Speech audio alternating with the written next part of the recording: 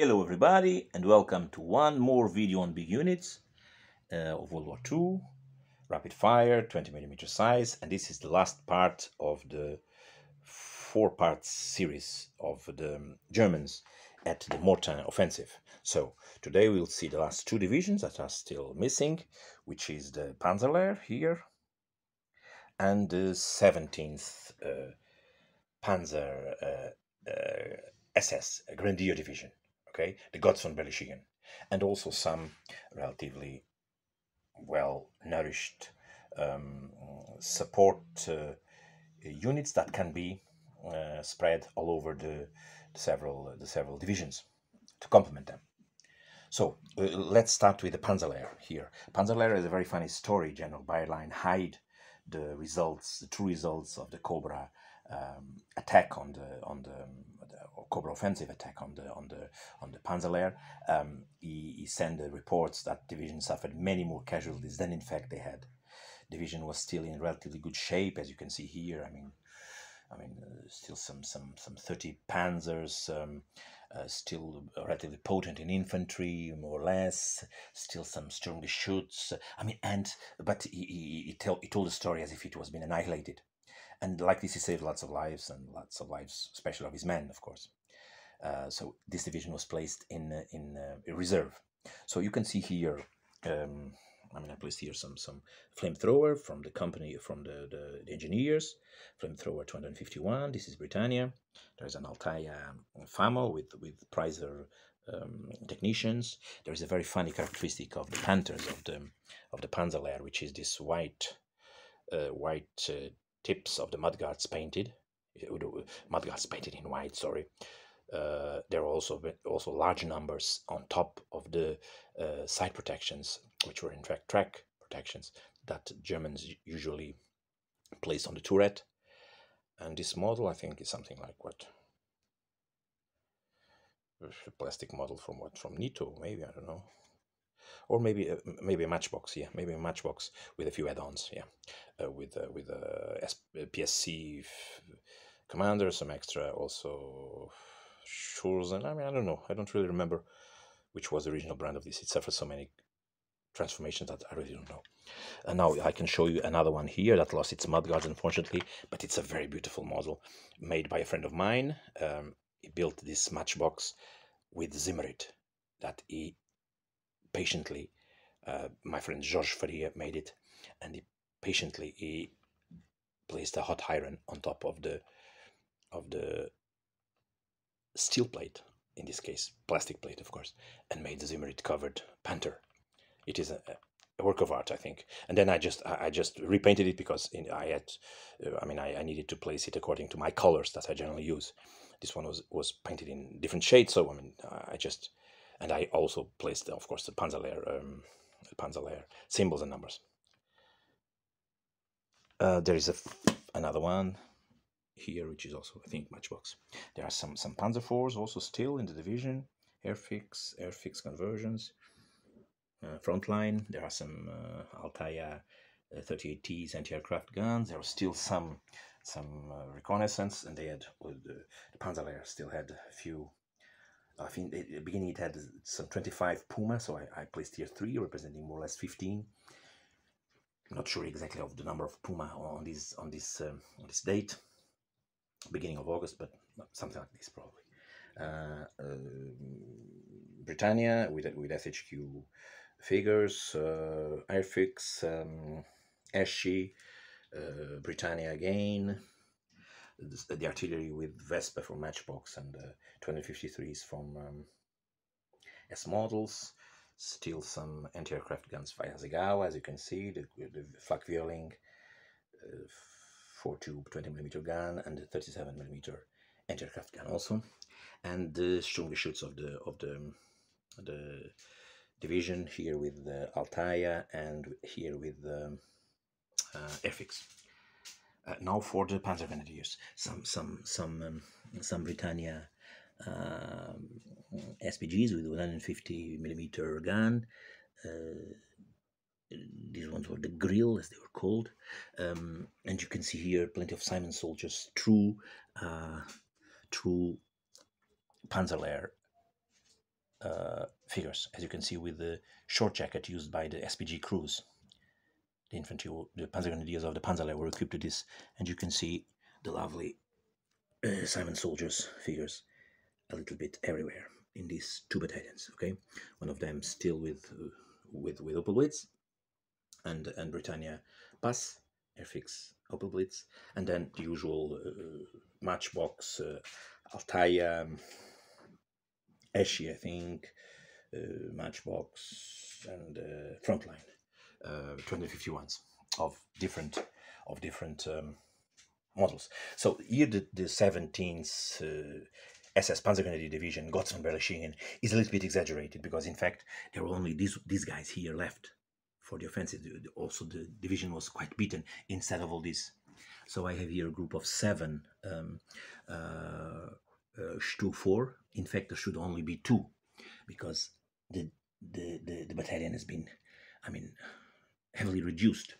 But you can see here the the the, the nice uh, a little bit incomplete. So we need to add a few things on uh, on, on top of this uh, this Revell um, Sturmgeschütz 4 and there is also somewhere in the middle I can only notice by the weight because I think it's this one.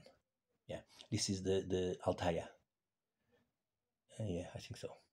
It's this one um, now, for the anti-tank, uh, for the anti-tank capabilities of the division, uh, I mean, I, read Marder one, I read Marder three. I'm not sure of which of them to use here, frankly. So I placed both.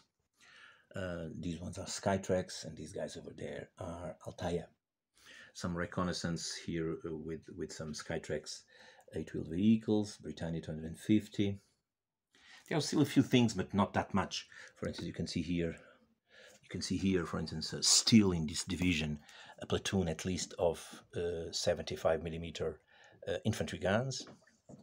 Uh, also some some sIG 150, sIG 33 150, pulled by some some um, 3D print resin models with with again with Simon Soldiers figures inside. Um, some anti-aircraft means over there, also with with these uh, these uh, late uh, with um, both flak Vierling, 20 millimeter four tube gun and 37 millimeter. The artillery of the Gotz von Berlichingen was made of partly of, of Russian uh, Russian guns. You can see here the 132 millimeter uh, guns by by uh, Iraqi miniatures, pulled by some French trucks. I mean, I don't know if they were French half trucks. Sorry, the MCG5. I'm not sure if, if, if they were really here, but it, it was the ones that I left, that, that I had left, sorry. Uh, some Also some Pioneers with some uh, trucks by trucks. I think it's extinct. It, it, it, trucks doesn't no longer exist, I think. These were some, some French uh, trucks, um, by trucks, as I told you, uh, that um, could have been, I'm not sure, in this uh, in this division, but I use them also a little bit because, I mean, I was a little bit short of, of this kind of stuff. Also some uh, Nebelwerfer 41s and Nebelwerfer 42s for the Nebelwerfer unit of the Gotz von Berlichingen. And Gotz von Berlichingen only had this. And you can see probably, uh, I mean, something like this didn't exist and something like this didn't exist. So the division was quite quite depleted. So I placed here some battalions of Fallschirmjäger because the division was also under the command of a Fallschirmjäger Corps. So you can see here uh, ESCI figures a little bit everywhere. Also some some conversions with like this guy, for instance, holding the Panzerschreck. And there are a few Revell in the command, but most of the and in in some support weapons, but mostly it is the a little bit idle um, Revell, Uh, sorry, ESCI figures of the of the Fallschirmjäger. They are very well made, but they are a little bit. I mean, it looks like they are in in in in in uh, I mean, just standing and looking at each other. I mean, not in a very active positions. I mean, it's an option, of course, a modeling option, of course. So it's almost at an end, and you can see here a group of, let's focus like this. More or less like this. This is, I mean, models that you can spread throughout the six divisions, for instance. There's a, a relatively large group of nine, um, nine uh, PaK uh, 75 millimeter guns uh, that can be distributed along the anti-tank battalions together with the Sturmgeschütz 3s and and uh, and uh, Jagdpanzer 4s of the several divisions. There's also a heavy 88 millimeter group here um, with the Skytrex um, PaK 43s pulled by Airfix Hanomags. There is a, a big, big Revell. uh, very beautiful. Ooh, let's try to focus this thing. Uh, 170 millimeter Morser, pulled by an Hanomag also. Also a, um, a group of, uh, uh of uh, towed artillery by these 3D uh, prints by Mario Laranja, and these are Revell guns, 105 millimeter guns, and they can be also spread out close to the to the Vespa and the Hummels of this division and other divisions that are nearby. Um, and I think I've showed you everything. So the idea of this thing is not only to make, I mean, this is not for, properly for a war game on top of this table, as you can imagine, otherwise the, the opponent can't enter. But the idea is to have enough units to portray whatever you need in, in the Mortain campaign.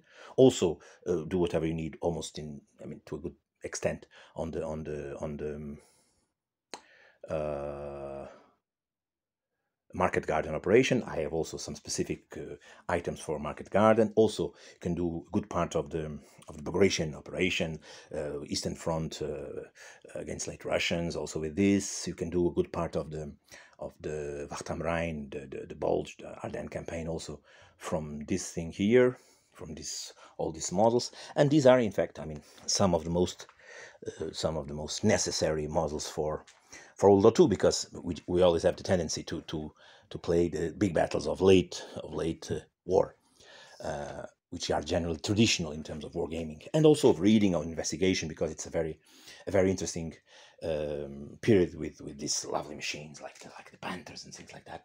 So everybody likes likes this period of, of the of the of the war in terms of studies, of course. So uh, I hope one day that uh, our masters. Um, uh, Richard and Colin uh, do something about about the Mortain campaign. It would be very nice. Um, it's not. I mean, it has been recently um, has been recently investigated more thoroughly, and there are some nice results, like the books I've showed you on the first uh, part of this series. Well, let's see if something comes out.